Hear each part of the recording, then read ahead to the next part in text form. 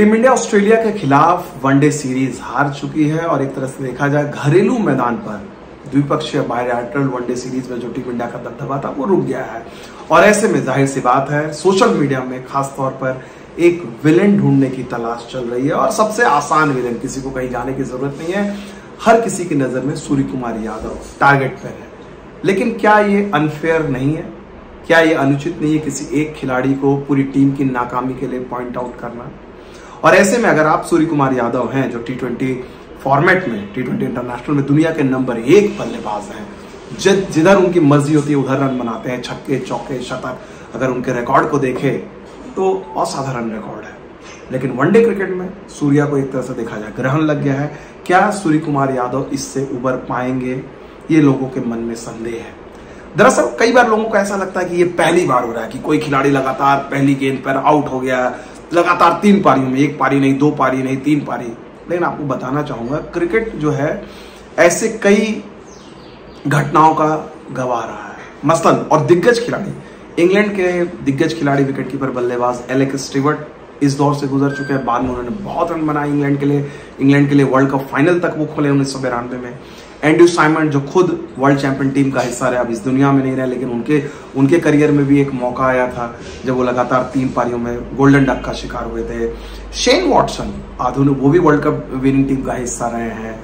तो ऐसा नहीं है, अब अछोड़ी उतनी दूर क्यों जाते हैं? सचिन तेंदुलकर की बात कीजिए, उन्नीस सौ चौरानवे में। सचिन तेंदुलकर के करियर में एक फ़ेज़ आया था जब वनडे क्रिकेट में वो लगातार तीन मैचेस में शून्य शून्य शून्य के स्कोर पर आउट हुए थे। गोल्डन डक नहीं था क्योंकि वो पहली गेंद पर नहीं आउट हुए थे। सचिन तेंदुलकर दूसरी गेंद पर आउट होते थे। तो ये दिखाता है कि बड़े से बड़े खिलाड़ियों के साथ ऐसा हो सकता है, लेकिन खिलाड़ी वापसी करते हैं। सूर्य कुमार यादव में वो काबिलियत है, वो टेम्परामेंट है, जिसके चलते वो निश्चित तौर पे वापसी कर सकते हैं। और अच्छी बात है कि कप्तान रोहित शर्मा और कोच राहुल द्रविड़ ने उन पर भरोसा जताया। रोहित का बैक करना उनको बहुत मायने रखता है, क्योंकि रोहित से ज़्यादा शायद सूर्य कुमार यादव को कोई बेहतर तरीके से नहीं जानता है, उनके तकनीक को, उनको पर्सनली प्रोफेशनली और सूर्य कुमार यादव ने भी, मुझे याद है, पिछली बार मैं इंग्लैंड के दौरे पर था, वहाँ पर सूर्य कुमार यादव ने खास तौर पर कप्तान की तारीफ़ की तो उन्होंने कहा था कि रोहित ने उन्हें जिस तरह से बैक किया, उनसे उनकी क्रिकेट को काफ़ी बेहतरी मिली है। तो अब सवाल यह है कि क्या रोहित शर्मा एक बार फिर से अपने करियर का जो एक तरह से देखा जाए, उसके पन्ने पलटेंगे, दस साल पीछे जाएँगे, अभी 2023 चल रहा है 2013 जाएँगे, और वहाँ से जो उनके साथ एम एस धोनी ने किया था, लगभग ऐसा ही दौर था रोहित के साथ, अगर देखा जाए तुलनात्मक दृष्टि से। रोहित शर्मा उस समय पाँच मैच उन्होंने खेले थे, श्रीलंका में, वनडे क्रिकेट में, सत्रह रन बनाए थे। जी हाँ सिर्फ़ सत्रह रन, उनका टेलीफोन नंबर वाला स्कोर था।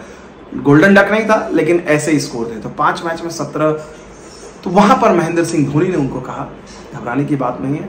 You are too good a player आप बहुत अच्छे खिलाड़ी हो। ठीक है मिडिल ऑर्डर में आपको प्रॉब्लम हो रही है। मैं आपको ओपन कराऊँगा। और उन्होंने ओपन कराया 2013 में, मोहाली में, रोहित ने ओपन किया, अर्शतक बनाया, उसके बाद ये चैंपियंस ट्रॉफी में गए। उसके बाद से रोहित आज देखिए 10 साल में वनडे क्रिकेट के, न सिर्फ़ भारत के, दुनिया के ऑल टाइम बेस्ट प्लेयर में है। तो कप्तान का एक भरोसा किस तरह से किसी अच्छे खिलाड़ी की किस्मत और करियर बदल सकता है उसके गवाह खुद रोहित रहे हैं। रोहित, अगर सूर्य कुमार यादव को ये कहें कि भाई वर्ल्ड कप में बहुत ज़्यादा समय नहीं है आप जिस तरह से टी ट्वेंटी में बैटिंग करते हैं आप वनडे में भी कीजिए। और अभी बहुत ज़्यादा देखा जाए तो मौके नहीं है। सूर्य कुमार यादव को जुला, जुलाई अगस्त में वेस्ट इंडीज़ में मौके मिलेंगे तीन वनडे खेलने का। उसके बाद तीन टी ट्वेंटी वेस्ट इंडीज़ में ही है फिर आयरलैंड में तीन टी ट्वेंटी है। तो कमो बेस्ट वर्ल्ड कप के लिए बहुत ज़्यादा वक्त नहीं है। सूर्य कुमार यादव के लिए इंडियन क्रिकेट के लिए बेहतर होगा कि सूर्या वनडे क्रिकेट में भी वही फॉर्म दिखाएँ जो उन्होंने टी ट्वेंटी में दिलाई है। देखिए इसे महज इत्तेफाक नहीं कहा जा सकता। टी ट्वेंटी फॉर्मेट और वनडे क्रिकेट में अच्छे खेल दिखाकर उन्हें टेस्ट कैप मिली है। और इतना जल्दी उन्हें कोई डिस्कार्ड नहीं करेगा।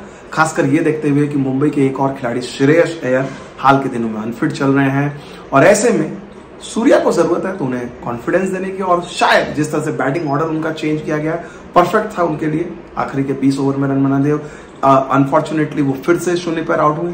लेकिन मुझे लगता है कहीं ना कहीं बल्लेबाजी क्रम में सूर्या का जो बदलाव हुआ है, उससे भले ही चेन्नई में फ़ायदा नहीं मिला, लेकिन आगे के मैचों में निश्चित तौर पर फ़ायदा मिलेगा।